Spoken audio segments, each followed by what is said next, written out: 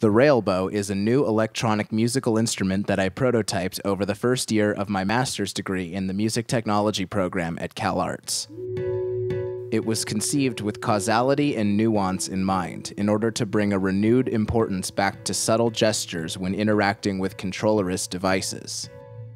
Structurally, the railbow consists of a 3 foot long by 1 foot tall by a foot and a half deep aluminum frame, upon which a slotted track sporting a free floating, four wheeled handle assembly sits.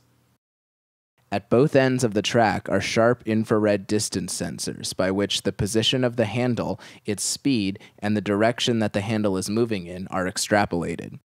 Also at the end of the track are return mechanisms, designed to minimize energy loss from impact and be as energetic as possible in returning the handle once collided into. This portion is currently implemented with a hand grip and a weight clip, respectively, with contact microphones affixed nearby to them in order to report whether a collision between the end of the track and the handle has occurred, on which end, and how hard. A force sensitive resistor the size of two or three fingers is affixed to the handle assembly to report how hard the handle is being squeezed. All of the data from these five sensors is run back to a brain unit in the center of the skeleton, which translates the fluctuating voltage as 10 bit serial values over USB for the host computer to make use of in instrument design.